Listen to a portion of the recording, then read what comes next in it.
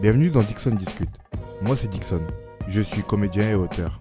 Mon métier, c'est de créer ou d'utiliser la création des autres et de la mettre en forme. Donc j'ai envie d'en discuter avec ceux qui font comme moi, qui inventent, qui matérialisent le monde autrement. On va essayer de comprendre ensemble les méthodes et tout ce qui se passe dans la tête d'un créatif. Et pour ça, il n'y a rien de mieux qu'une bonne discussion. Salut, ça va? Calmement et toi? Super, déjà présente-toi. Bah, moi je m'appelle Stelio Ok. et euh, je fais de la musique. Quoi comme Donc, musique euh, Mon style c'est hip-hop soul, j'aime bien le définir en hip-hop soul. Est-ce que tu peux expliquer c'est quoi la hip-hop soul? La hip-hop soul c'est pas un style mais moi j'aime bien, c'est les deux styles qui me définissent on va dire. Donc c'est c'est du rap, de la soul, donc ça veut dire je rappe, je chante. C'est les deux euh, courants musicaux on va dire qui m'influencent le plus. Des- On est obligé de démarrer. Yes. Parce que du coup, tu m'as dit, je fais du rap, je chante. Ouais. À l'heure où les rappeurs ne chantent pas, enfin, chantent, mais avec. De Avec l'autotune. l'autotune. Du coup, ouais, pour toi, c'est comment? Moi, je veux, je, je vais l'utiliser un petit peu de temps en temps, mais euh, j'aime bien ce qui est organique de base, j'aime bien ce qui est naturel, on va dire. Donc, euh, ça dépend, j'aime bien tester différents, euh, différentes choses dans la musique, mais on va plus m'entendre sans qu'avec, en tout cas. Beaucoup plus sans. Du coup, t'as pris des cours de chant? J'ai pas pris de cours de chant, peut-être que je vais commencer cette année d'ailleurs, mais euh, je, suis, je suis instinctif, on va dire, je le fais à l'oreille un peu. Et. euh, question bête, hein, mais pourquoi avoir choisi de rapper aussi et pas que chanter? Euh, de base, moi, c'est vrai que j'ai commencé par l'écriture. En vrai, j'aime beaucoup écrire.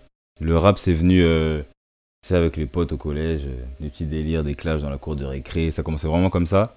Et je sais pas, c'était plus le, le- le rap qui m'a attiré, même si dans ma tête, moi, je, je me, des fois, j'aime bien me prendre pour, ma- pour un chanteur. En fait, moi, j'écoute beaucoup de R&B, de soul, de musique qui sont vraiment chantées. Mais j'ai jamais, je me suis jamais dit que j'ai la voix pour le faire. Et petit à petit, je me suis mis dedans, mais c'est vrai que c'est le rap qui m'a attiré de base. C'est d'abord le rap par Ouais. lequel t'as commencé. Ouais. Tu m'as dit que t'écrivais. Mhm. T'as toujours écrit. Du coup, t'écrivais pas. Non, j'ai posé ma question bêtement alors que tu m'as répondu, mais. T'as commencé à écrire et après t'as rappé. Ouais. T'écrivais quoi au début? Au début, c'était euh, tout et rien comme aujourd'hui. En fait, des fois, je vais écrire des pensées. Je vais écrire des choses pour me motiver. C'est vrai que j'écris beaucoup des choses pour me motiver. Euh, et euh, des fois, ça ressemblait, au fur et à mesure, des fois, ça ressemblait à des, des mini-sons, des poèmes, tu vois. Et au final, bah, je suis tombé dans la musique. Ok, on va revenir dessus après. Yes. Déjà, j'aimerais savoir depuis quand tu t'es mis à rapper? Euh, comme je t'ai dit, fin de collège. Donc, j'avais 13-14 ans. Ok.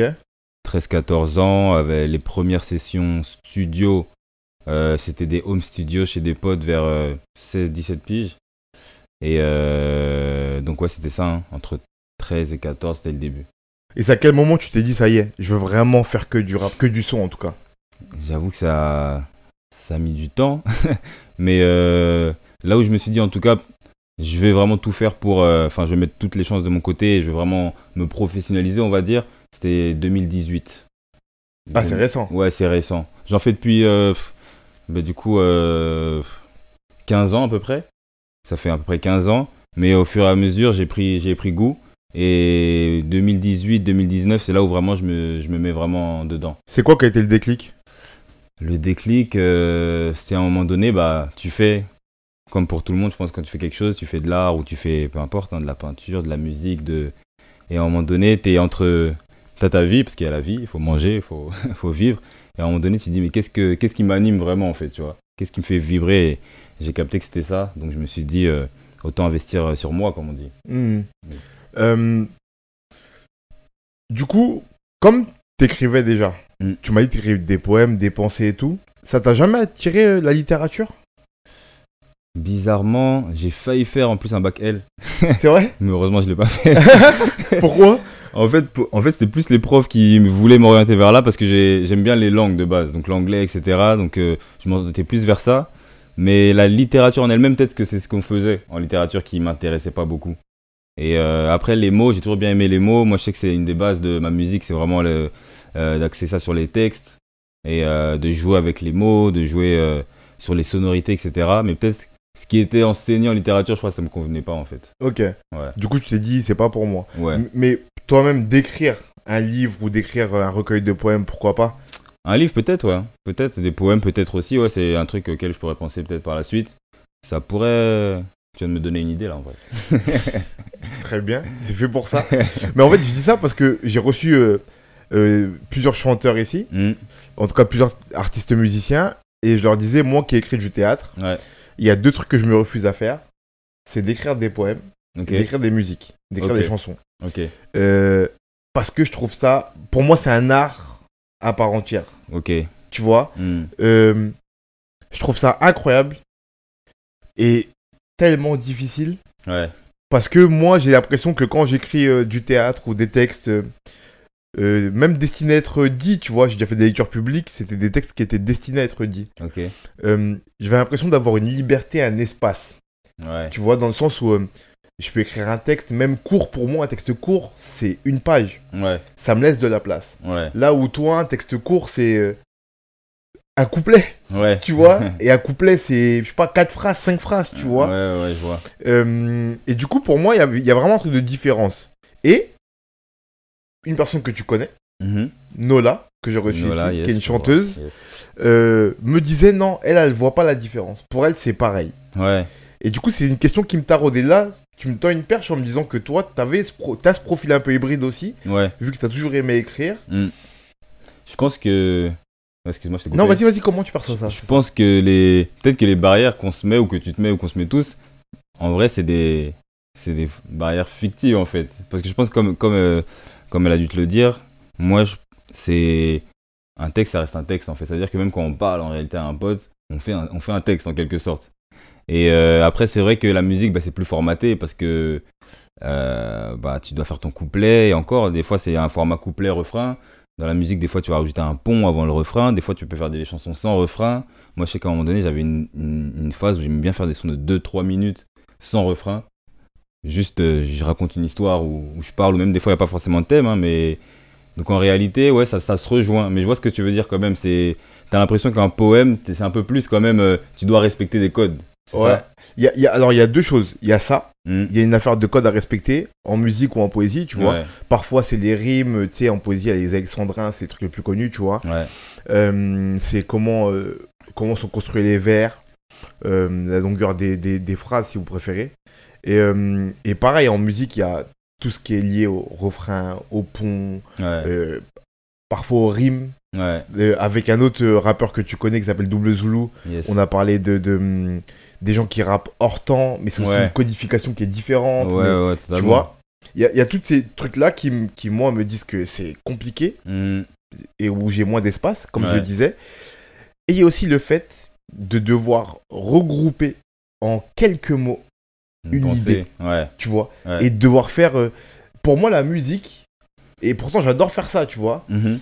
euh, c'est même comme ça que je perçois mon écriture. Mais pour moi, la musique, c'est vraiment l'écriture des images. Yes. Et c'est-à-dire qu'en quelques phrases, tu dois imager ton texte. Et c'est qu'une suite d'images, Ouais, exactement ça. mais en mots, tu vois. Ouais. Et pour moi, ça, sans avoir l'espace nécessaire, tu vois, genre, je vais caricaturer un peu, évidemment, m'a- m'attaquez pas, mais euh, en, en littérature, euh, c'est très descriptif. Ouais. Un livre, c'est long parce que tu décris quasiment tout, Ouais, ok? Euh, Ça te laisse le temps de construire l'image dans la tête du lecteur. je vois. C'est-à-dire que là, je suis avec Stelio et je remarque que sa chemise a des pliures nanana et elle est Mhm. de telle couleur, ce qui lui donne un air nanana. Et là, au bout de la page, quand on a fini de lire la page, on a l'image de T'as planté le décor. J'ai planté le décor dans la tête du, du lecteur. Ouais, Toi, en une phrase, tu dois faire ce que je viens de te faire là en une page. dire. Et c'est pour moi ça, c'est incroyablement dur, tu vois. Bah, c'est vrai que c'est un, c'est un- c'est un- c'est un bon challenge, c'est un défi en fait. Et c'est vrai ce que tu as dit, j'aime bien quand tu as dit que c'est des images. Parce qu'en réalité, je pense que les, je sais pas les meilleurs, mais en tout cas ceux qui nous marquent, les artistes qui nous marquent, qui font du son, c'est ceux qui vont avoir les textes les plus imagés en fait. Les plus imagés. Et moi, c'est vrai que j'aime bien les, euh, les artistes qui écrivent, qui écrivent en, en, en arrivant à imager justement leur, leur pensée le plus simplement possible, mais de façon. euh, tu t'écoutes, tu as l'impression que tu regardes un film en fait Ouais. tu vois? Mais par exemple, dans ce que tu dis, c'est aussi un challenge. Moi, je ne penserais pas réussir à écrire des pièces de théâtre, tu vois. Après, peut-être peut-être peut-être un jour, mais je- c'est pareil, il faut, il faut d'un autre côté, si je me mets à ta place, il faut justement de l'inspiration et il faut bien décrire toute, euh, toutes les choses, être précis peut-être, tu vois. Alors, tu vois, c'est là où la magie intervient. Ouais, euh, pour moi dans l'art et que je dis la magie au sens de comment tu maîtrises une compétence, en tout cas tu commences à tu choisis une compétence plutôt qu'une autre, Mhm. un art plutôt qu'un autre parce que comme je l'ai dit, moi le, les, les premiers trucs sérieux que j'ai commencé à écrire c'est du théâtre ok, et ça a été archi facile pour moi parce que dans ma tête très simplement, Mhm. c'était juste euh, une suite de dialogues. Ouais, J'avais pas de description à faire. Ouais. Tout se passe dans les dialogues. Ce qui m'importait moi, c'était de refaire ressentir l'émotion dans les dialogues. ouais. C'est-à-dire que là, j'écris notre dialogue. Il faut que je sois assez, euh, assez bon dans le choix de ce qu'on va se dire Ouais, pour que les gens ressentent l'émotion. ouais, je vois le Tu vois ce que je veux dire Que Ouais. par exemple, je dis une bêtise, mais comme on a dit en off, là, c'est un partage, une discussion. Ouais, Et que dans ce que je vais nous faire dire là, là, les gens ressentent qu'il y a une idée de partage. c'est un partage. C'est ça qui va être dur pour moi. Euh, et au théâtre, t'as l'avantage que c'est joué. Du coup, Mm. t'as l'image pour toi. l'image, ouais. Et du coup, moi, dans le texte, je fais ressentir aux gens à l'écoute qu'il y a un partage. Et après, je dis aux comédiens de jouer ce partage dans Ok. leurs attitudes. ouais. De Là, moi, j'ai un avantage. Un peu, genre. Tu vois, ça accompagne. Comme là, euh, je, je dis une bêtise, mais moi, je parle beaucoup avec les mains. Ça peut être une imagerie de ce partage. Ouais. Parce que je viens vers toi, je suis ouvert vers toi. Du coup, j'ouvre mes mains. Et du coup, moi, je vais dire au comédien Ok, quand tu diras cette phrase-là à le eh ben, joue comme ça. Et ça va montrer au public que c'est là l'avantage que moi j'ai. C'est vrai, Toi, si t'as pas de clip, t'as que du son, t'as Ouais. pas tout ça. ouais. T'as quelques mots pour faire ce que je viens de te dire, l'émotion, l'image. Mm. Et pour moi, je trouve ça fou. Non, c'est comme tu dis, c'est de la magie. hein. C'est de la magie parce que quand tu vois des, des artistes comme euh, Stromae, euh, Damso qui sont forts dans les images, tu Ouais. vois. Et euh, c'est là ce que tu dis, c'est vrai, c'est là on parle avec les mains. Toi, tu dois t'imaginer ce qu'ils disent en fait. Enfin, c'est même pas tu dois t'imaginer. Je pense que les plus forts justement, ils arrivent à, à faire transmettre cette émotion-là, à te projeter dans un dans une image, dans un film, dans un dans quelque chose de ouais de visuel et euh, d'émotion. Je pense que c'est vraiment ça dans les mots. euh, les, que ce soit dans les pièces de théâtre ou dans les sons, c'est ça de faire retranscrire des émotions le plus fortement possible. ouais. Ben, tu vois, là, tu me dis ça, tu, m'as, tu, m'as, tu me donnes une autre perche. Je pense à trois artistes qui, moi, me font ressentir vraiment ce truc. Ok, Euh, et qu'on, pour moi, alors, là où je les trouve très forts, ces artistes-là que je vais nommer, c'est que ils n'ont pas besoin d'images pour faire ressentir ce qu'ils veulent dire et que leur écriture est faite d'images. ouais, Et en même temps, dans l'imagerie, ils sont très forts. Du coup, dès qu'ils font des clips, ouais, ça encore. accompagne bien. euh, Pour moi, c'est, je dirais même 4, ok, en vrai. Euh, Stromae, Damso, yes, Orelsan yes, et Booba. ok, Tu vois? Pour moi, ces quatre artistes-là, euh, j'en ai, j'en ai d'autres dont j'aime bien l'imagerie dans le texte, Ouais. si je puis dire, tu vois. mhm, Mais que je trouve pas que dans les clips, par exemple, un mec comme Nekfeu, que j'adore, ouais, je trouve pas que dans les clips, ça soit si imagé je que suis ça. d'accord, je suis Tu d'accord. vois, c'est bien, il fait des beaux clips, mais ça accompagne pas. Ouais, Mais les trois, les quatre que je t'ai nommés là, chaque fois, par exemple, je pense à un mec comme Stromae, tu vois, je pense à, je pense à un son comme dans son précédent album, Papa Outé, pour le plus connu. ouais, Dans le son, mm, tu captes tu déjà, ouais. L'idée qu'il y a, y a un truc avec le, le père et tout, et Ouais. dans les mots, il est très puissant. Mm, Quand il sort le clip, pareil, c'est une claque pour les une gens, claque, ouais. parce que l'imagerie du clip, elle est faite Elle pour que ça appuie. tout ça, ouais, Tu vois, ouais. Damso, il a un peu ce truc là aussi, c'est que tu écoutes un album de Damso, tu comprends les idées, c'est très fort en imagerie, Ouais, c'est un film. et souvent ces clips ils sont bien accompagnés aussi. Mm, Euh, Orelsan fait très bien il ça aussi, très bien ça, ouais. je trouve, tu vois. Et, euh, et, et bon, Booba, Mhm, euh, tu sais, je sais pas si t'es au courant, mais il avait même, euh, il y avait même des littérateurs qui avaient dit, Ouais. qui faisaient des, des métagores, qui avaient inventé ce terme-là. Lui, s'est dit, ouais, ok, c'est cool. Tu vois, Ouais, je sais pas ce que c'est, mais c'est cool. Il enseignait. Mais en gros, c'était ouais, de faire des métaphores qui soient vraiment plutôt gore, tu vois, Mm. plutôt crues. Et euh, ça vient de l'idée que dans ces textes, tu. Et comme lui le disait dans un de ses sons, c'est un puzzle de mots et de pensées, tu vois. C'est ça. Et quand t'entends puzzle, t'entends image aussi, parce qu'un puzzle, c'est vraiment des images que t'emboîtes. Ouais. Et ces textes, c'est ça. C'est ça. Mais je suis content, euh, déjà, on est, on est d'accord sur certains artistes. J'ai cité Stromae et Damso, tu les as recités, mais c'est ça, clairement ça. Damso, ses albums, c'est des films. Euh, Booba, je suis d'accord, depuis le, le départ, il a des, des comment dire, il a des, des métaphores, même des phrases super imagées. Et je me rappelle, sur le petit journal, mais à l'ancienne sur Canal+, je sais plus quel euh, chroniqueur avait dit, euh, il, euh, je sais plus le verbe qu'il avait employé, je crois que c'était il, il brutalise la langue française. Dans Ouais. le sens où, c'était, je sais pas si c'est le verbe exact, mais c'est dans le sens où c'est tellement percutant que ouais, tu te fais le, tu te fais, tu te le manges en. Moi, je suis d'accord sur les mots, moins sur les clips. Il a des beaux clips, mais je trouve qu'il met pas tout le temps en tout cas, qui mettent, euh, enfin quoi que ouais, non, je pense à des clips, il a des clips forts quand même. Il y, a- y des fois, il y a des clips, c'est plus juste des belles images ouais. que des, tu vois. Parce qu'il faut que aussi des beaucoup d'ego trip. Voilà, c'est euh. beaucoup d'ego trip. Mais c'est vrai qu'il y a des clips comme ouais, DKR, etc. euh. Mais euh, je suis d'accord avec ça, même Orelsan, je suis vraiment d'accord avec ça. D'ailleurs, son, son reportage là, super intéressant. Son documentaire, Son ouais. documentaire super intéressant. Et Stromae, bah, lui, c'est un, un, un génie, hein. maestro, comme le dit son blaze. Ouais, ouais. Et euh, c'est ça, moi j'ai toujours été attiré par ce genre de- d'artistes, en tout cas musicaux, dans le- qui sont forts dans le storytelling. Euh, même moi qui écoute pas mal de rap US, je sais que Kendrick est beaucoup dans ça aussi. Ouais, grave. Il est beaucoup dans ça, que ce soit dans les textes ou dans les, dans les clips aussi, qui sont des... En fait, moi j'aime bien quand c'est des artistes à part entière, vraiment artistes, comme le mot l'indique, toi il y a art dedans. Et c'est c'est une œuvre d'art totale en fait. Ça veut dire que de, depuis le texte jusqu'à la façon dont c'est posé, jusqu'à à l'image. Et euh, j'essaie de m'inspirer d'eux, tu vois, et de faire, euh, de faire à, à mon niveau en tout cas ce que je peux faire. Mais alors, du coup, j'ai une question pour toi. C'est quand tu écris un texte, tu penses aux images. Mhm. Est-ce que tu penses déjà au clip? Tu te fais un espèce de clip dans ta tête pour voir comment ça, comment ça vit Ouais. dans la réalité? Mais de plus en plus. De plus en plus, parce que c'est vrai que depuis ces deux dernières années, j'essaie au max, même sur des, des morceaux courts, parce que je lançais des petits formats euh, sur les réseaux de vidéos d'une minute, de d'avoir une, une petite DA en fait, tu vois, quand j'ai un son, pour l'imager, parce que je trouve que, comme tu dis, ça, quand tu as une image, ça, ça appuie le message, ça, ça renforce le ça renforce l'émotion que tu as envie de faire passer. Donc, euh, je pense pas au clip en même temps que le, que le texte quand même, parce que je pense que je me concentre d'abord sur le texte. Mais justement, j'essaie de faire des textes le plus imagés possible pour que pour moi aussi, ce soit plus simple de le retranscrire après, tu vois. Donc, euh, mais de plus en plus, ouais, c'est c'est kiff kiff. Ok. Ouais. Alors, je vais te poser une question qui est archi bizarre et qui est, je sais qu'il va être, ça va être dur d'y répondre. Ok. Comment on construit un texte en image C'est bête, hein, mais je veux dire dans le sens où euh, je vais essayer de compléter pour que ça soit pas juste euh, un truc Là, c'est en philosophique. mode, tu vous vois. avez 4 heures. tu vois, clairement.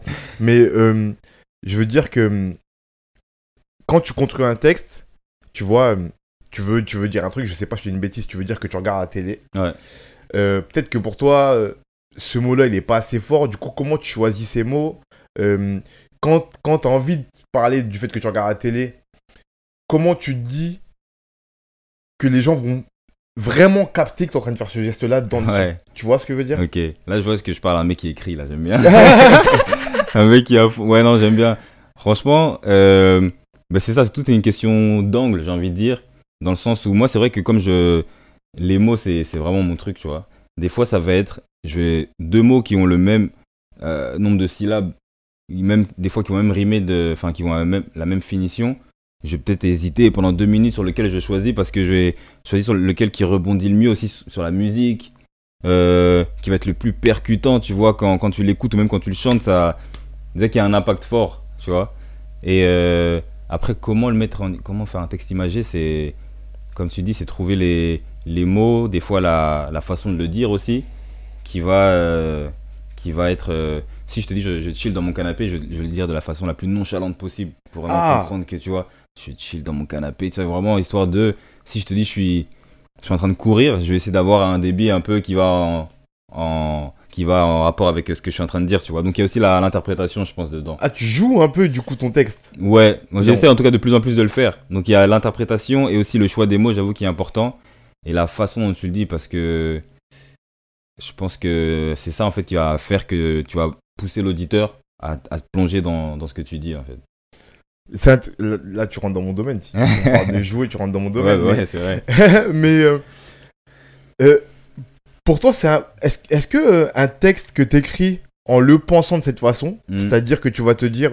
Alors, déjà, c'est deux questions en une en fait. La première, c'est est-ce que forcément, du coup, peut-être que tu penses pas tes clips, tes, tes sons, ton écriture en image directement et en clip, Ouais, mais en interprétation, du coup, ouais. premièrement. Et est-ce que ça voudrait dire que tous tes textes, maintenant, vu que tu penses plus à ça maintenant, ouais. perdent de l'impact si tu les interprètes pas de cette manière-là et que t'appuies pas sur les trucs Ok, Hmm, je pense, je pense pas qu'ils vont perdre, mais je pense que si je le fais, ils vont gagner en tout cas, tu vois. Hmm. Et euh, là, ce que la façon dont je te l'ai dit, c'est. On a l'impression, limite, je faisais une chirurgie pour écrire, je suis un mec comme un ouf et tout, mais en en fait, c'est beaucoup instinctif. C'est beaucoup instinctif quand même.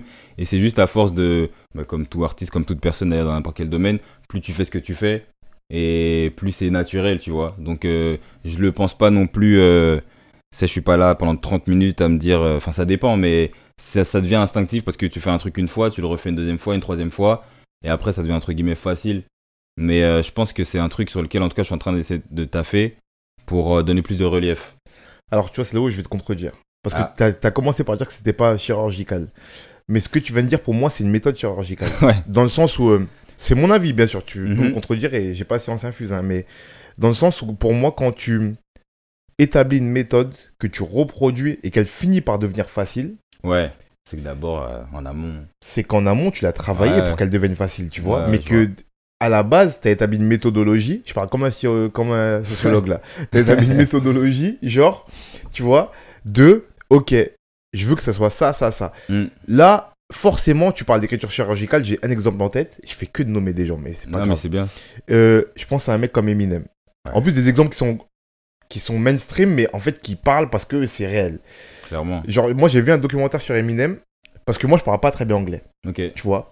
Du coup, je capte pas exactement toutes les profondeurs de l'écriture de certains artistes. Mhm. Mais en me documentant, je me rends compte, tu vois. Et j'avais vu un documentaire sur Eminem euh, où des mecs analysaient ses textes et montraient comment ils construisaient ses textes, Ok. tu vois. Surtout lui, ça doit être intéressant, ça. Euh, je t'enverrai le lien si tu veux, Ouais, c'est hyper intéressant. Mm. Euh, le truc, c'est que quand tu vois la construction de ces textes, même de façon littéraire, Ouais, frère, c'est un truc de fou. ouais, c'est un fou. C'est un truc de fou. Mm. Et là, quand tu me dis ça, moi, je me dis que je suis sûr que j'aurais Eminem là. Mhm. Si un jour, un mec qui parle en anglais il lui traduira, mais s'il veut venir ici, il n'y a pas de problème. Mais si un jour j'avais Eminem là, peut-être qu'il me dirait un peu comme toi, Ouais, c'est naturel maintenant. parce qu'il l'a taffé. euh, Mais il l'a taffé comme un malade. Ouais, non, tu vois, c'est- un ciseleur de fou. Ouais, de fou, de fou. Ouais, Tu en fait, t'as raison, t'as raison, c'est c'est du taf pour arriver là. C'est juste que, ouais, en fait, il y a forcément un moment où tu t'es posé vraiment en mode chirurgien et qu'à la fin, tu- ton taf, tu le connais. Donc, c'est plutôt ça que je disais, mais t'as raison, c'est de la chirurgie en réalité. Même moi, j'aime bien dire de, des ingé-sons, des beatmakers que, tu vois, ils font de la, ils font de la chirurgie, c'est de la science qu'ils font. Des fois, ils découpent des trucs, euh, un truc que t'entends pas forcément, ils rajoutent, enfin. C'est du taf, c'est juste que des fois, quand t'as un mec qui est un peu plus euh, accompli, t'as l'impression que, ok, tranquille. Ouais. Mais en réalité, comme, comme tu le dis, c'est, du taf. Et du, bah, comme, comme j'ai dit, que si tu fais un truc au départ, tu le reproduis, tu le reproduis, tu le reproduis, au final, c'est, du travail et ça vient pas tout seul. Là, ça me rend sur un autre truc qui est euh, le fait de, de travailler, de maîtriser quelque chose. Mm. Est-ce qu'à un moment donné, on se dit, ok, je maîtrise assez et j'ai plus besoin de travailler là-dessus? Est-ce que quand on. Si ça t'arrive de faire ça, est-ce que c'est pas le moment où tu arrives et, et- ou peut-être que là, tu es en danger parce que tu travailles moins du coup parce que tu as l'impression de maîtriser ce truc? Ouais. Je pense que c'est, perso, hein, je pense pas que ce soit une bonne approche de se dire, ok, ça je maîtrise. Parce qu'on apprend tous les jours, tout le temps, surtout, en fait. Tu vois. Même Eminem, je pense qu'aujourd'hui, tellement fou comme il est, il doit se dire, j'ai des trucs à améliorer dans mon écriture, tu vois. Donc je pense que, pour, en tout cas, pour progresser et te masteriser, comme on dit, ton, ton art, faut toujours le, te dire que j'ai un truc à rajouter, un truc à apprendre. Moi, je sais que, par rapport à ce que tu as dit, ce que je suis en train de me dire, par exemple, il y a un type de son, par exemple, que, que je maîtrise.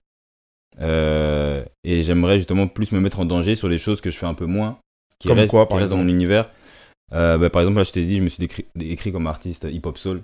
Donc, on va dire que souvent, quand on va entendre mon style, entre guillemets, de base, ça va être beaucoup de, euh, des sonorités euh, RB soul et du rap, euh, du débit sur des, soit des instruments RB soul, enfin, influence un peu RB soul, et je vais débiter dessus. Mais, tu vois, petit à petit, je rajoute des, des, petits épices un peu dans la musique. Tu vois que c'est un peu plus funky, un peu plus musique africaine que j'écoute beaucoup aussi. Et me mettre en danger un peu comme tu disais, histoire de sortir de ma zone de confort. On n'est on est jamais à 100% dans quelque chose, mais on a quand même une zone de confort qu'on maîtrise, tu vois Ouais, forcément. forcément. Et euh, donc euh, moi, je suis dans un, plutôt dans une optique de me dire, je vais toujours essayer de pousser, d'aller plus loin et de, sans me dénaturer, mais de rajouter des petits trucs euh, qui pourraient faire améliorer mon... mon- Dans tout ça, est-ce qu'il y a un style, entre guillemets, de rap que tu maîtrises pas, qui est pas organique ou naturel pour toi, mais que tu aimerais bien faire? Vraiment, je veux dire, pas en expérience ou en, Ouais, en danger, juste. t'aimerais faire ça, mais juste c'est pas naturel pour toi. C'est pas naturel pour moi. pas un style de rap, ça va être bizarre que je veux dire, mais des fois, t'as des sons, comme on a parlé d'écriture, je pense Ouais, que t'as capté que moi j'aime beaucoup écrire. Et des fois, pour avoir quelque chose de catchy, pas mainstream, mais catchy, facile à l'oreille, c'est bête, mais des fois, il faut avoir le moins de mots possible, tu vois. Comme tu disais tout à l'heure, résumé, des fois c'est résumer des idées, mais des fois c'est résumer aussi euh, musicalement, genre, ce que tu peux faire. Et pour quelqu'un qui aime beaucoup écrire, mettre beaucoup de mots, c'est difficile pour moi, tu vois. C'est plus difficile en tout cas que d'écrire un, un texte euh, concis, enfin complet et tout ça. Donc, euh, des fois, de, de faire respirer ma musique, j'ai envie de dire. De faire respirer. Ouais, C'est-à-dire que ça soit moins dense. voilà, c'est ça. Sur certaines parties, en tout cas, pour euh, faire un peu un équilibre.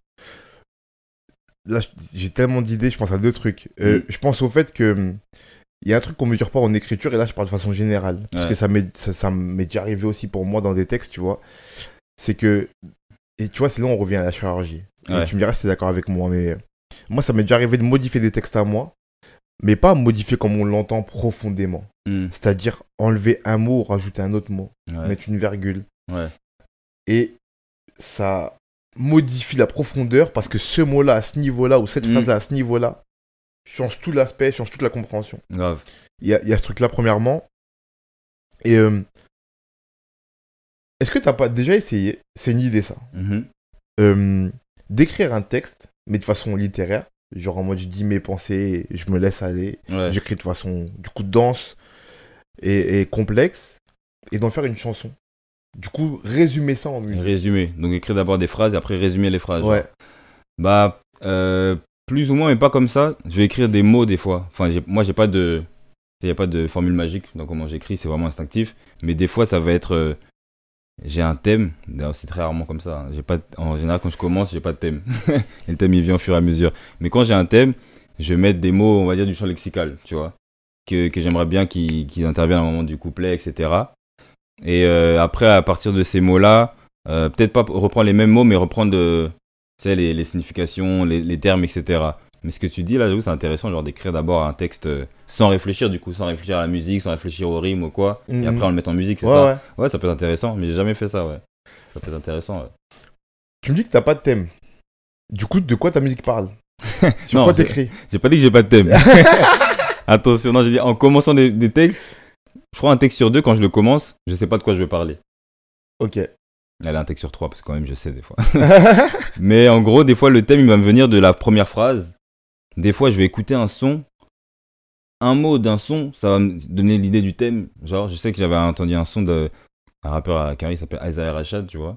Et le, le, dans le son, il disait euh, 20 something, c'est genre les 20 et quelques en gros. Ça veut dire quand la génération des 20 et plus, tu vois. ok. Et du coup, j'ai fait un son qui s'appelait 20 et quelques. Juste parce que j'ai- kiffé ce qu'il disait un peu. Je suis dans la génération 20 et quelques, je fais des conneries, je fais des trucs, etc. Je me remets en question. Et à partir de ça, tu vois, ça m'a ça m'a inspiré un thème. Des fois, je commence une phrase et la première phrase que j'écris va m'inspirer la suite. Euh, donc voilà. Mais du coup, je parle de quoi? Moi, je parle de. J'aime bien dire que mon rap, c'est un rap de, de la vie, en fait. Ça veut dire que je vais, euh, je vais rapper, chanter. euh, on va dire, des expériences que j'ai vécues, des expériences de mon entourage. Euh, des fois, mettre, euh, j'aime bien être un peu narrateur, tu vois. Narrateur dans mes sons, raconter des histoires, des émotions, etc. Mais il n'y a pas un thème en particulier, c'est vraiment des thèmes de tous les jours, en fait, de la vie de tous les jours. Ça veut dire qu'il faut vivre pour euh, pouvoir raconter des thèmes de la vie de tous les jours. Je pense, hein. Euh, c'est grave bête de dire ça comme ça, mais en fait, c'est qu'on mesure pas. Je crois qu'il y a un truc que les gens ne mesurent pas, qui sont partis, c'est que on mesure pas assez euh, comment le fait de vivre. Et je dis ça pour défendre tous les artistes qui ont des périodes où ils font rien et les gens leur disent mais tu fais rien, Ouais, mais ils font en fait. ils font. Ça fait partie du travail. De Parce que si tu vis pas, t'as rien à raconter. À part si t'as emmagasiné beaucoup de trucs et du coup, Ouais, avant d'être épuisé en thème, t'as des trucs à dire. des trucs à dire. Mais ouais. sinon, comme tu dis, quand t'écris sur la vie, Hmm, il faut que tu la vives cette vie. c'est ça. Du coup, ta musique, elle est pas revendicatrice. Euh, si, quand même. Euh, Moi, je vais beaucoup parler de. Enfin, d'expérience. Comme je disais, même dans mes textes pour moi-même, j'écris des, des trucs perso pour me motiver, tu vois. Donc, des fois, je vais beaucoup parler de dépassement de soi, du fait de, de rien lâcher dans, ses projets. Je pense que c'est un peu ma vie, je pense, tu vois. Essayer de, de foncer, de, de, de, de voir les signes, de, de s'accrocher, etc. revendicatrice. Après, moi, je revendique euh, qui je suis. Donc, euh, en tant que personne, en tant que. C'est mes origines, en tant que. Origine africaine, né à Paris, tu vois. Rien que ça, c'est en quelque sorte une sorte de métissage déjà, tu vois, une sorte de double culture. Et euh, ça va être beaucoup de. Ouais, d'authenticité dans le sens où, ben, sois toi-même en fait. En général, je pense que c'est ça. Le message qui peut résumer ce que je dis, c'est sois toi-même. Essaie d'être toi-même et euh, c'est pour ça que je revendique du coup qui je suis, d'où je viens, etc. C'est de l'ego trip? Il y a de l'ego trip dedans. Euh, il y a beaucoup de second degré aussi. Et euh, mais en fait, la vie, c'est de l'ego trip. la vie, c'est de l'ego trip en vrai. Comme je dis, je raconte la vie. Dans la vie, si tu veux réussir, si tu veux euh, accomplir des choses, etc., t'es obligé à un moment donné de bomber un peu le torse, tu vois. Donc, euh, il y a un peu de ça. Mais tout en avec une certaine, on va dire, un recul, un second degré, une légèreté un peu, tu vois. Parce que c'est de l'art et c'est de, la- c'est de la passion et c'est du kiff avant tout. Ah, ça c'est sûr. Mm. C'est- toujours. euh, on, on demande aux artistes, tu kiffes ce que tu fais? Ah ouais. Ne posez pas cette question. Ouais. Je connais pas un artiste qui fait ça de façon alimentaire en mode. c'est euh, bizarre. C'est bizarre, c'est Ouais. pas possible. Mm. Tu, fais, tu, je sais pas, tu travailles, t'es t'es caissier ou d'autres métiers de ce genre, entre guillemets, qui sont pas épanouissants pour certains. Mhm. Là, tu peux ne pas kiffer. Quand t'es artiste, vu la galère que c'est, c'est sûr que tu kiffes. C'est ça, vu la galère que c'est, t'inquiète Ouais, pas c'est sûr que que tu kiffes. on kiffe. Euh, Est-ce que ça arrive parfois des moments Mm. où la vie t'aspire rien? Euh... At- Attends, Ouais, j'ai une illumination. Pardon, je suis désolé de te couper dans ma propre question. Est-ce que t'écris tous les jours Déjà? Non, j'écris pas tous les jours. C'est un truc que je faisais à un moment donné. Et euh, j'écris quand même beaucoup, mais pas tous les jours. Et euh, ben, un peu pour euh, rebondir sur ce que tu as dit juste avant, si je peux. Tu peux. C'est. euh, Il y avait des moments où justement j'étais frustré quand j'étais pas inspiré. Et ça, maintenant, j'ai appris que, en fait, c'est bon. Je suis plus frustré quand je suis plus inspiré. Je pense que c'est- les confinements, c'est le Covid et tout ça. C'est à cause de. grâce à ça, j'ai envie de dire. C'est en mode, en fait, des fois, comme tu disais tout à l'heure, euh, t'as besoin d'emmagasiner des choses. Et j'ai capté, moi, que même quand j'écoute des albums, moi, j'aime bien dire, je fais mes devoirs quand j'écoute des albums, tu vois. J'écoute des albums, même des fois, je regarde des séries, des interviews. J'aimerais regarder des interviews, des concerts, je vais au concert ou quoi. Bah, en fait, je suis en train de m'inspirer, tu vois. Je suis en train de m'inspirer, je suis en train de, je suis en train d'écrire, limite, sans écrire. Parce que ça m'inspire et aujourd'hui, il n'y a pas l'inspire, de- demain, ça va venir. Et j'ai appris à plus être frustré du fait que, vas-y, là, j'ai rien à, à dire. Ouais. Et c'est important parce que la frustration que tu te mets, limite, tu te- tu t'enfonces encore plus à te dire, ah, j'arrive pas à écrire, le lendemain, tu vas encore essayer, le lendemain, tu vas encore essayer, il n'y a rien qui va sortir. Et tu vas te poser des questions en mode, mais est-ce que je suis bon, en fait Tu vois Ouais. et au final, prendre ce temps de pause, de souffler, même il y a des fois des moments où, ce que je faisais rarement avant, j'écris pas pendant des deux semaines parce que euh, je me dis que ce que je fais à côté, ça va m'aider pour les prochains textes, justement. Ouais, c'est toujours du travail en vérité. Ouais, De vivre, c'est un peu, ça devient un peu du travail pour toi. ouais en fait, c'est ça. C'est ça, c'est ça. Euh, C'est la pré-écriture. C'est la préécriture. ça, c'est hyper intéressant ça, comme terme. C'est la préécriture. Je vais te le voler, ça. grave. Je te le donne, je te le donne. Euh, bah ouais, grave, c'est grave la préécriture, c'est vrai. Euh, je- là, c'est l'écrivain qui parle, du coup. Ouais, ouais, je sens, je sens. Clairement. Euh, après, le problème, c'est que parfois, tu te noies dans la préécriture et Ouais. tu restes que en C'est préécriture. ça aussi. ça, c'est un piège.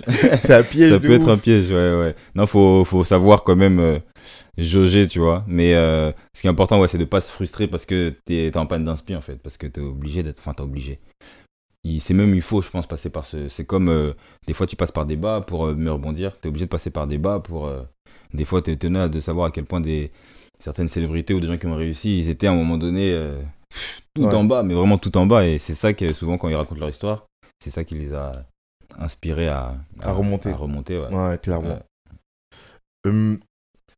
Je me dis, au début, tu m'as dit que du coup, tu écrivais beaucoup en images.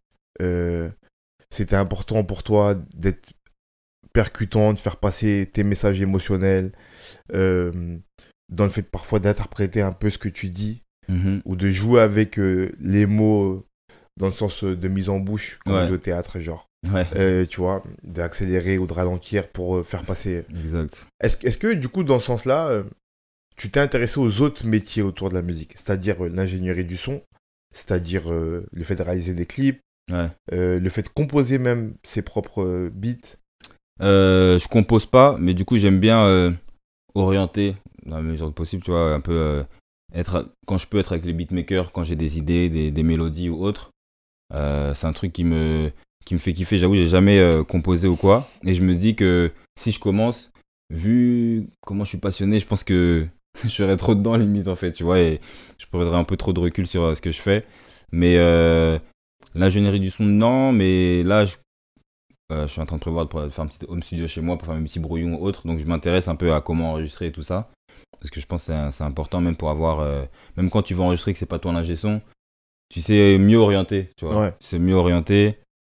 Et, et voilà, je fais pas d'instrument non plus, mais pareil, j'aimerais bien le clavier, ça me tente un peu, tu vois. Je me dis, il est jamais trop tard pour apprendre. Donc je m'intéresse, je m'intéresse un peu à tout ce qui se fait, même si je sais pas le faire, pour savoir comment les choses se font et ça donne toujours un recul sur ce que tu, enfin un recul, plus de- une meilleure visibilité sur ce que tu fais. Ok. Ouais. La réalisation, non? Réalisation, non, mais euh, j'aime beaucoup la vidéo. Et euh, même si je réalise pas, euh, bah, comme je te dis, souvent, j'ai des, pour mes vidéos, j'ai des idées, tu vois. J'ai des idées, donc euh, si on peut appeler ça un peu de direction artistique, de, de mise en scène. J'aime bien euh, tout ce qui est un peu euh, mise en scène, etc. Donc moi, je suis pas derrière l'objectif, mais j'essaie de, de, de, de planter le- un, un décor le plus clair possible. euh. Pour le réel après. Ouais, c'est ça. Euh, je te pose ces questions parce que je me dis que quand on a envie vraiment de faire, euh, de transmettre des idées, euh, et là, comme d'habitude, c'est un peu mon expérience personnelle qui parle, tu vois. Moi, quand j'ai commencé le théâtre, c'était par l'écriture. Ok. Et il y avait une idée qui était, je veux juste écrire. Ouais. Rien faire d'autre. Je veux même pas. Je joue maintenant, c'est mon métier principal, mais à la base, je voulais même pas jouer, ni mettre en scène, ni rien savoir de tout ça. Moi, je voulais, j'écris et les gens, ils se débrouillent avec le texte. tu vois le C'est ce délire que je te donne. Tiens et bon courage. Ouais. Paye-moi bon courage. C'était ça l'idée. Euh, et en fait, un peu comme toi, j'ai tellement l'imagerie en tête que j'ai commencé à m'intéresser à tous ces métiers. Et j'ai eu un coup de pouce du destin, c'est que je me suis mis à jouer. Ouais. Du coup, j'ai vu euh, l'envers du décor, de comment on peut réaliser ses idées, de toutes les opportunités qui s'ouvrent à toi créativement parlant, je parle, tu vois, de, Ouais. de mise en scène et tout, tu vois. Et euh, maintenant, il y a un truc qui commence à m'obséder de plus en plus, Mhm. qui traînait un peu, qui était, qui était pas là du tout, qui s'est mis à traîner dans ma tête un peu, et maintenant qui m'ob- qui m'obsède, c'est de mettre en scène. Ouais. Tu vois, et d'être en fait dans la chaîne de production du début à la fin. J'écris, je joue, je mets en scène, et mettre en scène, c'est aussi. Mettre en scène, c'est pas seulement diriger les acteurs sur scène. Ouais. Mettre en scène, c'est aussi penser à la lumière. Euh. T'es accompagné forcément, mais penser à la lumière, au décor, au costume, à tout ça, tout ça, tout ça. Euh, parce que dans l'idée, j'ai envie de maîtriser de bout en bout ma création. Ouais, ouais, ouais. Et je pense que ça, ça me vient du fait que j'ai beaucoup visualisé ce que je crée à la base, au sens Ok. écriture. C'est pour ça que ma question, elle, est- elle, est- elle a- elle fait sens pour moi. C'est que je me dis, quand tu clairement. visualises beaucoup ton texte et que tu visualises très en images, peut-être que l'idée peut devenir de dire, ok, ben pour être sûr que l'image que j'ai en tête, c'est celle que le- le l'auditeur reçoit, je vais la maîtriser de bout en De bout. bout en bout. Mais ça m'étonne même pas ce que tu dis par rapport à les quelques trucs que tu as dit par rapport à l'écriture et comment tu vois ton texte. Je pense maintenant, limite, en fait, quand t'écris, t'as as la mise en scène, en fait. Malheureusement. ouais. Parce que vu comment t'as l'air d'être euh, pointilleux, on va dire, sur ton écriture. Mais du coup, les... t'as commencé par écrire. J'ai commencé par écrire. écrire, ouais. Et t'as commencé à, à jouer comment, pourquoi c'était un. Un coup du sort, vraiment. Ouais. Genre vraiment, moi j'écrivais à la base du théâtre. Euh, du coup, je rencontrais des metteurs en scène pour essayer de mettre en scène ma pièce. Mais vraiment en mode, euh, moi j'ai un texte, vous êtes metteur en scène, tenez. Si vous voulez le faire travailler, faites-le travailler, tu vois. Et, euh, et en fait, dans ces pérégrin- pérégrinations de rencontres, j'ai rencontré Attends, pause, pause. Danser, danser, là, on a besoin que les auditeurs entendent ce terme. pérégrination. Pérégrination. Euh, dans, dans, dans le fait de, de traîner comme ça de rencontre en rencontre, Ouais. j'ai rencontré euh, une metteuse en scène qui s'appelle Karima, une metteuse en scène de talent très engagée, qui s'appelle Karima, et euh, avec la qui qui pouvait pas travailler sur mon texte, mais à qui je suis resté en très bon contact. Et un jour, elle est tombée sur des metteurs en scène qui cherchaient un comédien. Euh, par un coup du sort, parce qu'il y a une confusion de prénoms. En gros, les metteurs en scène avaient perdu un comédien qui s'appelait comme moi. Ils ont parlé à Karima Ouais. qui pensait que c'était moi. et du coup, Karima leur a dit Ok, je connais pas ce mec dont vous parlez, mais je connais un mec qui a le même prénom, qui a à peu près le même parcours. En Il plus, peut- ton prénom, hein. T'as vu, ça c'est fou. c'est fou, frère. Et, euh, et du coup, je peux vous mettre en lien Mhm. et voyez. Et moi, j'ai vu ces, ces, ces gens, Maël et David, et je leur rendrai toujours hommage, qui m'ont donné ma première chance, et je leur ai dit, ouais, euh, moi je joue pas. Ok. Mais en fait, j'étais aussi dans un délire à ce moment-là, comme je voulais réussir dans l'écriture, tu vois. euh, je m'étais dit, tout ce qui touche de près ou de loin à l'écriture, je tente, y aller. Ouais. et on verra, Ouais. tu vois. Et du coup, je me suis dit, bon, peut-être qu'ils vont pas me prendre, mais je les rencontre quand même, ou je tente de jouer quand même, ça me permettrait de mettre en scène ma pièce un jour, ou de la proposer à eux, qui vont la mettre. Tu vois, c'était dans ce délire-là, à la base. c'est intéressant. hein. Et du coup, ils m'ont dit, ok, euh, euh, ben, on peut faire un essai. Je leur ai dit, ok, on a fait une lecture. Ils m'ont dit, il y a du travail, mais banco. Ok. C'est parti. Et ça a commencé comme ça, en Ça fait. commencé comme ça. Et après, je suis devenu amoureux de la scène, je me suis fait ken. Un- tu fais de la scène, tu sais ce que c'est. Ouais, j'avais demandé justement, aujourd'hui, tu mets quoi devant euh, la scène ou euh, le fait d'écrire euh, Honnêtement, ce qui a pris le dessus aujourd'hui, c'est la scène, clairement. Ok. Ce qui- C'est la scène parce que ça demande beaucoup de travail. Et parce que ça m'a amené après à. En fait, c'est que ça fait depuis deux... fin 2018 que j'ai commencé le théâtre. Ok. Que, à part pendant le Covid, j'ai pas beaucoup arrêté de travailler. J'ai eu beaucoup de chance. Mhm. Et que ça a pris le dessus, tu vois. Ouais. Et qu'en fait, aussi, euh, l'idée de mettre en scène est née à ce moment-là. Ok. Et du coup, je suis obnubilé par le fait d'apprendre ce métier de mise en scène. Et ça m'a un peu détourné de l'écriture. Ouais, ok. Tu vois, c'est un peu ça qui s'est passé. Ok. Mais c'est mon premier amour et je vais, j'y reviens. Tout le temps. Tu vois, j'y reviens un peu tout le temps. Je fais des petits trucs et tout, mais mon pro... et puis il y a un truc aussi c'est- pour revenir à ce que tu disais au début, euh, c'est que à mon échelle et à mon niveau évidemment, j'ai une forme de maîtrise minimale de ce que je fais. Ouais. Du coup, si tu m'appelles demain pour écrire un petit truc, je peux y revenir comme ça. Ouais. Vite fait. Ouais. Tu vas faire C'est un plus drop. simple, entre guillemets, que C'est plus reste. simple, tu Ouais. vois. Euh, ce qui fait que ça m'a un peu éloigné. Ok. C'est c'est- c'est c'est- ces trucs-là qui m'ont un peu éloigné de l'écriture. Mais ça, c'est mon premier amour, tu vois. Euh, mais tu vois, moi, je suis comme toi à la base. Ce qui m'a fait aimer le théâtre, c'est parce que je suis un amoureux des mots, Des mots, ouais. Ok. tu vois? Ce qui me donne envie d'écrire, c'est que je suis un amoureux des mots à l'origine, tu vois? Et en fait, je me dis que quand je joue au théâtre, j'explore les mots dans tous les sens possibles. Je les explorerai en écrivant, en choisissant les Ouais, mots. les mots, ouais. Tu vois? En vrai, dans ce podcast, je t'ai dit au début, euh, en off, en vrai, je me pose des questions moi-même et je réfléchis pour moi, tu vois C'est ça, Mais, on euh, donne des réponses. C'est c'est ça, mais genre, euh, j'étais vraiment... euh, je suis vraiment dans un... re- En fait, c'est que je suis dans la recherche. Je dirais pas que je suis le plus grand auteur contemporain, et loin de là, tu vois. Surtout que j'ai même pas encore publié, parce que certains me reprochent, bref. mais euh, euh, je sais à quel point c'est important, Ouais. ce truc de... Tu vois, tu vois, par rapport à cette pièce, par exemple, la première pièce que j'ai écrite, je me suis rendu compte de ça, c'est que la première personne à qui je l'ai présentée, c'est une, une, une femme qui s'appelle Penda Diouf, qui est une autrice de théâtre, euh, et qui a lu mon texte. Et dans, dans mon texte, il y avait un perso féminin qui avait très peu de texte. Mais pour moi, c'était important qu'il soit là. Il apportait quelque chose à un autre personnage, tu vois. Et euh, elle lit mon texte et elle me dit, tu vois ton perso féminin, pourquoi il est là? Hmm.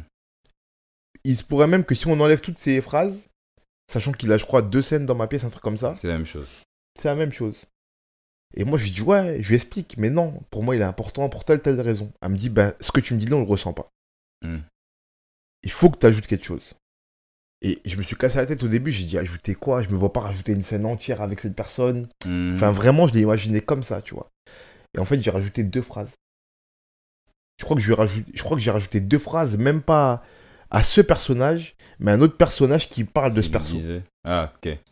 Même pas qui parle, Ouais. qui- même pas en lien. Deux personnages. un autre personnage qui parle de ce perso-là, féminin, deux phrases seulement.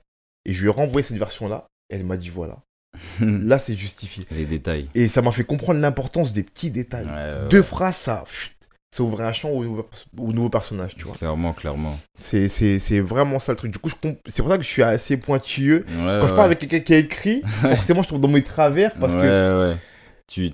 Effet miroir. effet miroir, tu vois. Et, et, euh, et je vois très bien où ça peut aller, où, le- où l'esprit peut aller, tu vois. Et c'est aussi pour ça que je te pose la question de est-ce que t'aimerais pas maîtriser de bout en bout? Parce que je sais que quand on, d'une part, maîtrise un domaine de son art, mais qu'on a un autre œil sur le reste, Ouais. c'est-à-dire, euh, grossièrement, hein, le fait, euh, euh, le, le- le visuel de ce qu'on veut rendre, on a envie d'aller ouais. toucher ailleurs. S'intéresser un peu à tout. Mais même pour rester dans l'écriture, euh, moi je sais qu'à terme, j'aimerais bien écrire pour d'autres artistes. Ah, Ou même, faut ouais, écrire pour d'autres artistes. Et ça, c'est aussi un challenge parce qu'il y a des fois, ça m'est déjà arrivé d'écrire des sons. Et au final, je me dis, il est cool, mais c'est pas moi où je me vois pas l'interpréter, tu vois. Ok. Et moi qui écoute beaucoup de, de, de, de musique chantée, vraiment chantée, genre, euh, tu vois, RB, etc. Euh, et je suis pas un chanteur, mais j'ai des mélodies dans ce, dans ce délire-là, tu vois. Et donc je me dis, je pourrais écrire pour des... Enfin, je pourrais, j'aimerais bien en tout cas écrire, tenter d'écrire pour d'autres artistes. Après, ça demande une certaine crédibilité et tout, enfin, en tout cas pour le faire à une grande échelle, tu vois. Mais c'est un truc à terme, c'est encore un autre truc qui est Ouais, ouais, je vois. dans le, dans le milieu, mais qui est différent. Euh, alors, ça m'étonne pas. En fait, c'est qu'il faut savoir deux choses pour Mm. les gens là. Euh, en, en rap, enfin, ça commence à se dire, mais ça se disait pas. Mais bon, on va dire qu'en rap, Ouais. ça se fait pas trop. Mais je sais qu'en en variété, par exemple, il y a très peu de chanteurs qui écrivent leurs sons. Très peu, très Du coup, il y a beaucoup de gens dans l'ombre Mm, qui sont des gens reconnus dans le milieu de la musique Mm. en tant qu'auteurs, premièrement. Toi, tu écoutes beaucoup d'R&B américain et tu m- tu es mieux connaissant que moi. Tu me diras si je dis des bêtises. mm, Mais il y a beaucoup de chanteurs d'R&B américain qui sont à la base des grands auteurs. Sauf que personne ne le sait. c'est ça. Tu vois, par exemple, le plus grand exemple que j'ai là en tête, c'est un mec comme Nio, Ouais. qui était un mec qui écrivait pour les gens fou, de fou. pendant très longtemps Ouais. et qui un jour s'est dit je sais chanter, je vais chanter. C'est ça. Sia, c'est Il pareil. y a aussi, ouais. Et ça, les gens ne savent pas en vérité. Mm, mm, En fait, ils sont pas débarqués de nulle part. Tu sais, les gens ont l'impression que Nio a fait un son hitmaker. Il, a fait connu. il savait écrire Ouais. parce qu'il écrivait pour grave des gens Pour beaucoup de à l'origine, tu vois. Euh, du coup, je- si t'es influencé par ces gens-là, je comprends que t'as envie de, Ouais.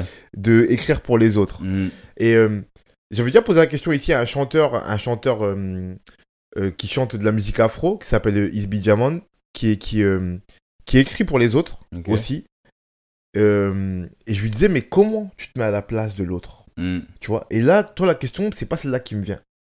C'est pourquoi t'écris des textes et tu te dis, c'est pas moi, c'est pas pour moi. En fait, alors ce serait peut-être pas au niveau du texte, mais de. C'est peut-être justement au niveau des, mé- des mélodies que je pourrais avoir, qui musicalement, hmm, je pourrais interpréter, mais on sentira que c'est pas mon domaine. Mais en fait, comme j'écoute tellement de musiques différentes, j'ai des mélodies de, de styles, d'autres styles que du mien, que je vais, que j'entendrais bien, par exemple, que quelqu'un le chante, mais pas de moi, tu vois. Donc c'est pas au niveau des textes. J'avoue, les textes, tout ce que j'écris, souvent, ça va être, enfin souvent, ça va être des trucs, en tout cas, auxquels je peux me, tu vois, que je peux m'affilier et tout, mais c'est plus au niveau musical, musicalement en tout cas. Mais c'est vrai que comme j'aime bien les mots, d'avoir un défi de quelqu'un qui me dit j'aimerais bien que tu écrives un texte sur ça, ou alors que moi de me mettre un défi de j'écrirais bien un texte sur tel thème pour telle personne, c'est un truc que j'aimerais faire. C'est quelque chose que j'aimerais faire de fou. ouais. En plus, je pense là aux artistes qu'on a nommés euh, tout à l'heure. Euh, Damso, Orelsan, Stromae, c'est des trucs qu'ils ont fait. Ouais, sûr. Et là, récemment, enfin, on a appris récemment que Damso l'avait fait pour Angel là. Angèle, ouais. Mais en fait, il l'avait déjà fait avant pour d'autres artistes en cachette. Et en fait, il y a beaucoup de rappeurs qui écrivent. Ouais, Genre, je sais qu'il y a un mec comme Akhenaton, par exemple. ouais. C'est un mec qui a beaucoup écrit pour la variété, Ok. mais en catimini. Genre, personne ne sait. Enfin, la vérité, je sais même pas. ouais. Tu vois, ouais, si, si. euh, tu iras chercher sur. Google, mais il a dit qu'il écrivait. Mais- Mais après, il y a un truc de. euh, on dénonce pas qui, pour qui on écrit. Ouais, tu ouais, vois, ouais. Mm. Mais je sais qu'il y a des rappeurs. Tu vois, je sais que. euh, je- euh, si je te dis pas de bêtises, je crois que c'est Damso. hein. C'est Damso qui avait écrit il y a un fait, an ou deux pour Kenji Girac, par exemple. Ouais, si, si. Je dis pas de bêtises, c'est bien ça, tu vois. Ouais. Et Kenji avait dit, ouais, je cherche une. Gims aussi. Bon, Gims écrit pour beaucoup de personnes. ouais, aussi. Gims aussi. euh, il avait écrit pour Luan aussi, je crois. Euh, Damso, ça. hein. Ouais, Ouais, Damso pour, pour Luan, Luan ouais. aussi, tu vois. Ouais. Euh, et tu vois, c'est intéressant parce que quand tu connais l'univers de Damso Ouais. et que tu vois Kenji, tu te dis, mais quelle musique il écrit Tu pour, vois, ça, de tu vois, fou, de pour fou. lui. C'est ça. C'est en fait, je pense que c'est ça hein, que je. Je pense que bah, lui, c'est un amoureux des mots aussi, clairement. Et je pense qu'il se dit qu'il peut aller sur plusieurs terrains. De façon, c'est un mec hybride, tu vois, mais qu'il y a des, des sujets de- sur lesquels soit il n'est pas à l'aise, ou soit euh, d'autres artistes seraient à l'aise. Ou aussi, ce qui se fait beaucoup, c'est que les artistes eux-mêmes qui interprètent, ou en tout cas leur équipe, ils vont directement chercher le mec parce qu'ils savent qu'il écrit bien, tu vois. Donc, ça m'étonnerait même pas que ce soit l'équipe de Ken Girac qui soit allé euh, chercher, tu Ouais, vois, clairement. Damso ou un Gims ou quoi pour dire vas-y, écris, écris pour moi parce qu'on sait que tu as, des, t'as des, des facilités.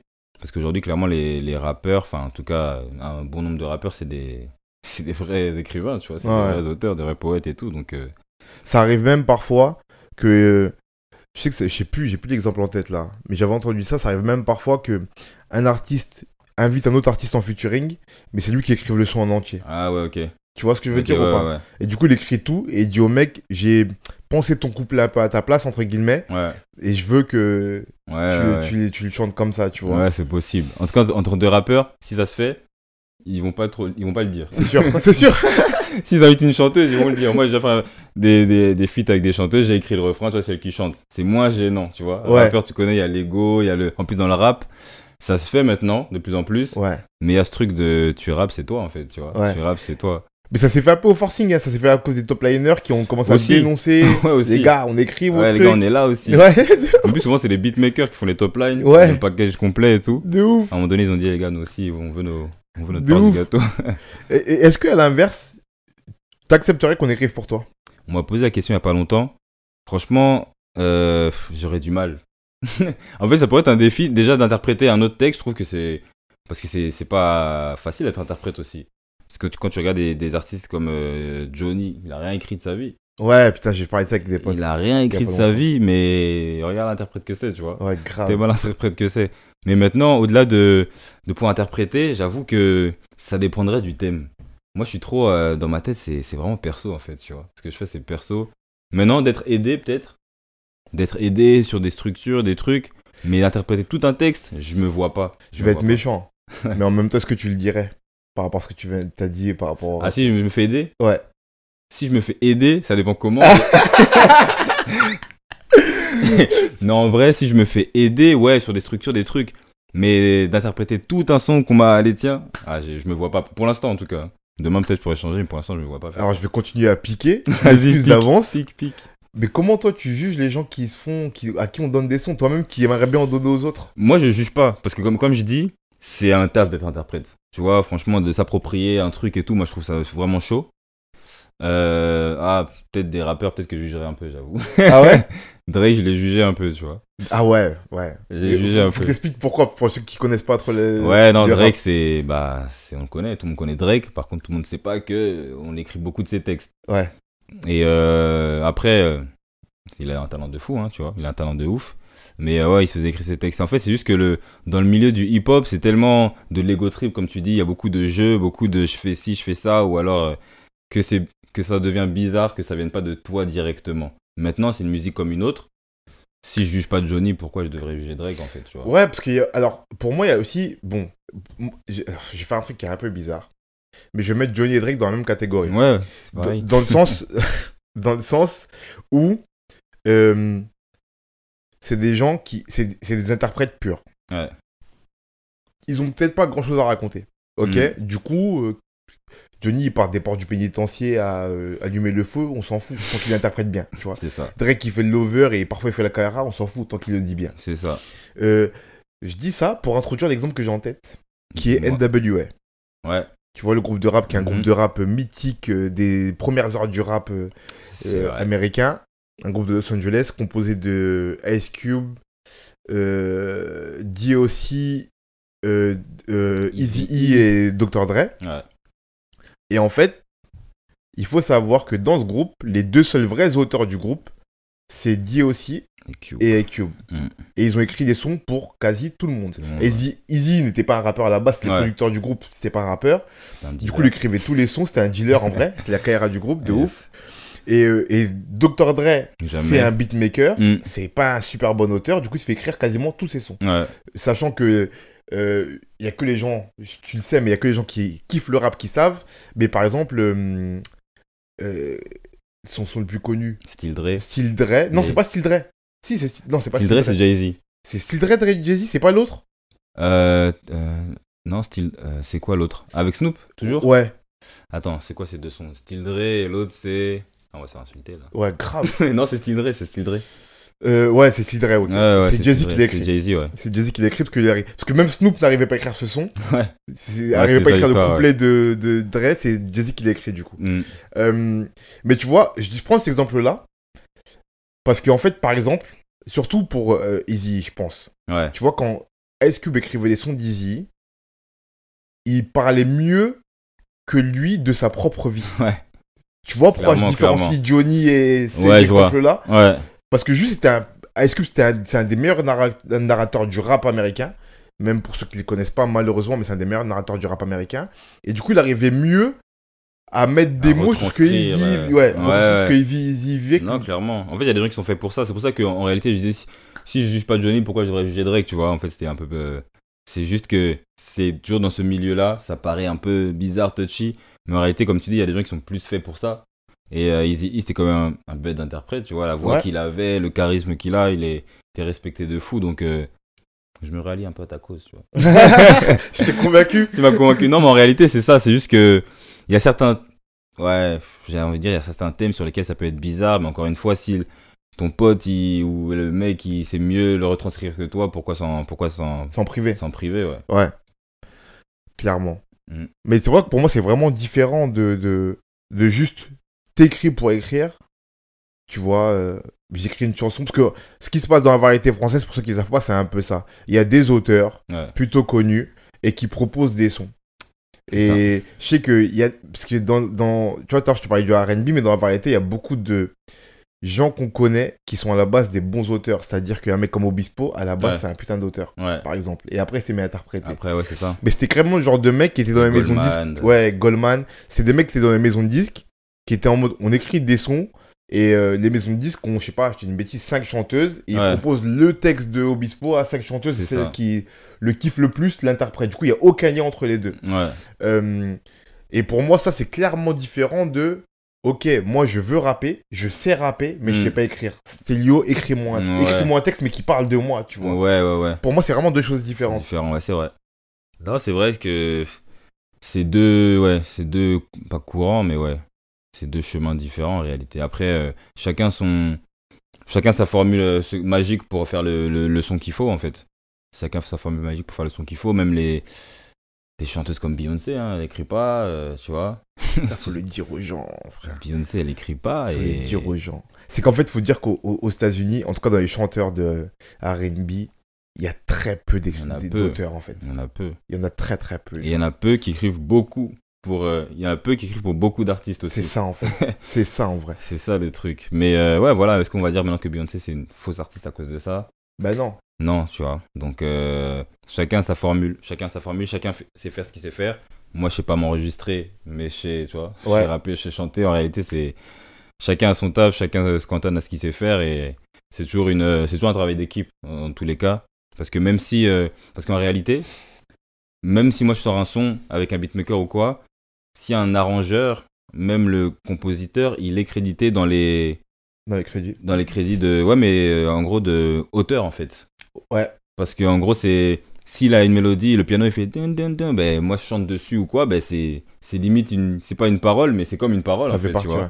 et euh, ouais j'ai appris ça il y a pas longtemps que des fois t'as des t'as un mec qui fait une guitare mais sur un, un pont tu vois ben il va avoir tant de pourcentage parce que la guitare à un moment donné elle est c'est comme elle a autant d'impact qu'un refrain en fait tu vois C'est une création à c'est part une entière. création à part entière, Ouais, tu vois. Donc, euh, ouais. Non, c'est vrai, c'est un grand débat, ça, surtout dans le milieu du, du hip-hop, tu vois. Mm. Mais, Et euh, c'est pour ça que parfois, euh, pour ceux qui s'intéressent un peu au crédit ou même quand vous regardez des clips, Mm. genre euh, euh, euh, pour ceux qui regardent encore des clips à la télé, euh, ou en tout cas ceux qui ont grandi avec ça, Ouais. il y avait il y a le nom du son, le nom de l'interprète, et ensuite il y avait une ligne en bas avec plein de noms Ouais, et la ouais. maison de disques. Et Mm. ben tous les noms, c'est les gens dont on parle. C'est ça, c'est ça. ont arrangé ou qui ont participé un peu à C'est l'écriture. vrai que ça, je parle d'une vraie époque, là, où il y avait tous les noms en dessous. Tu là, vois on regardait Mais, de tu sais ouf. que moi je comprenais app. Ouais, Parce que moi, le alors le pire c'est quand je regardais les noms et je cherchais le nom du chanteur, je le voyais ouais, pas. tu voyais pas. Je me disais, mais disais pas qu'il a un vrai nom dans la vie. Ouais, euh, tu vois. Alors, soit c'était son vrai nom, Ouais. soit c'est parce qu'en vrai, il a juste interprété. Ou alors, aussi, aussi, aussi. Il a rien. En plus, des fois, tu voyais le même nom quatre fois parce que le mec, il faisait tout. Ouais, Enfin, de ouf. Ouais, de ouf.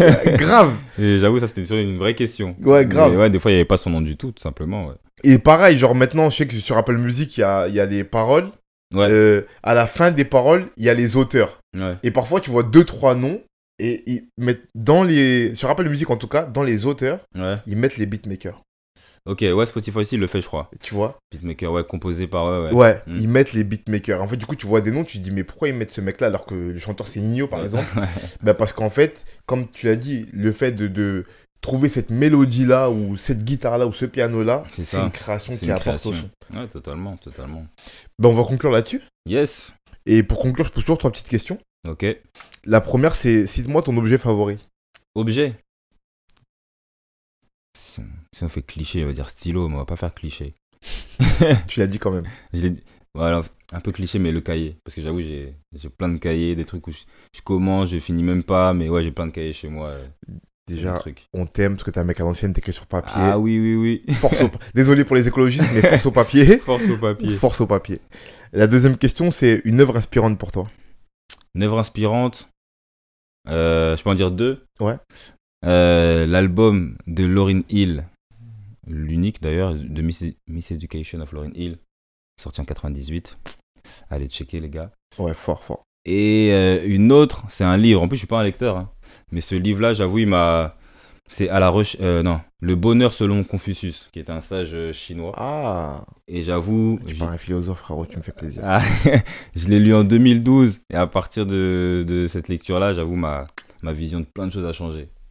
Allez checker les deux trucs qui viennent de Allez checker les deux vous trucs. plaît. Pour le bien de l'humanité, faites ça. Et la dernière question, c'est euh, quelle qualité devrait avoir selon toi un créatif? Un créatif, euh, moi j'aime bien parler de l'instinct, donc d'instinct, je vais te dire l'instinct. Ça veut dire de, de, de pas trop calculer, de faire ce qu'il a envie de faire, du coup de faire quelque chose qui, qui lui ressemble et d'y aller instinctivement parce que c'est souvent, comme on dit, le, le premier jet qui est, qui est le meilleur. Ok. Bah écoute, abonnez-vous, likez, partagez. Je vais mettre le lien dans la description de ton Instagram pour Yes. suivre ton actualité, tes sons qui sont très bien. Euh, et abonnez-vous à son compte. Merci. Et à la chaîne de Dixon aussi. Merci, C'est important, c'est important. Et à la prochaine. À la prochaine. Grave cool en tout cas, merci pour l'invite. Merci à toi d'être venu. Yes. Salut.